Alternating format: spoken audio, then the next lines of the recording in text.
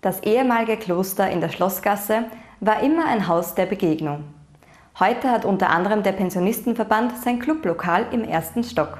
Damit auch alle Senioren bequem dorthin kommen, wurde nun ein Lift eingebaut, der feierlich eingeweiht wurde. Der 8. Dezember, ein Feiertag, Eröffnung des Pensionistenclubs, Fassade renoviert, Lift eingebaut, eine große großes Projekt auch von Seiten für die Gemeinde. Ja, also wenn man das äh, ein Jahrzehnt lang zurückblickt, äh, dann kann man sagen, haben wir in diesen zehn Jahren nicht nur Visionen entwickelt, sondern ist diese Visionen auch zur Umsetzung gebracht. In Zahlen ausgedrückt haben wir jetzt mittlerweile in diesem Haus äh, eine knappe Million Euro investiert. Aber es ist bestens investiert, weil dieses Haus immer in Verbindung mit Menschen war. Das war eine politische Entscheidung, wo der Mensch im Mittelpunkt steht. Und das ist für mich so eine Art Haus der Begegnung, weil nicht nur die Pensionisten äh, unter einem Dach sind. Da gibt es eine Töpfergruppe, da gibt es Maler, da gibt es Künstler, da gibt es Naturfreunde und sie vertragen sich alle. Und darum habe ich auch Freude, all diese Gruppen auch unter einem Dach zu haben.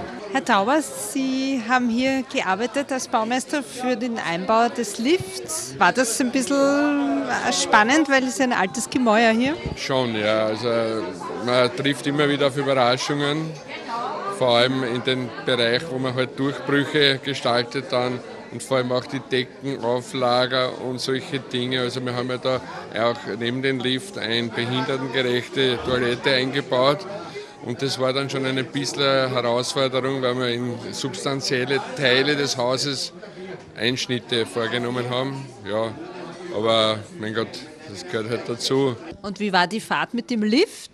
Na super, aber da fahren wir ja in Heim auch. In Heim Gut, dass es jetzt hier einen Lift gibt, oder? Ja, aber da ist super. War schon lange nicht herum. Für Sie heute ein Freudentag. Sie sind ja der Obmann vom Pensionistenverband. Ein neues Haus, neuer Lift, neue Fassade, neue Fenster. Heute ein besonderer Freudentag, muss ich dazu sagen. Wir haben jahrelang um diesen Aufzug und um diese Räumlichkeiten gekämpft. Ich muss dazu sagen, ein wunderschönes Dankeschön an unsere Stadtgemeinde, dass das jetzt endlich in Erfüllung gegangen ist. Für die ältere Generation, die wirklich diesen Raum benötigt hat und diese, diesen Aufzug ohne den wäre es nicht gegangen. Freilich freuen sich viele darüber. Wir haben an die 200 Mitglieder.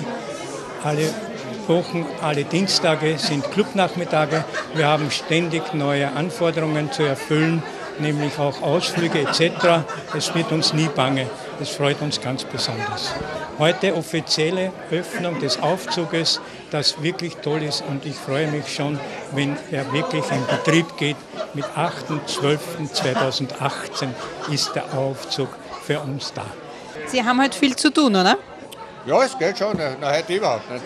Normal, normale Dienstag sind, da geht es aber mal dahin, schon, schon langsam. Wir sind immer so an der 40, 50 Personen da. Heute ist volles Haus. Heute immer.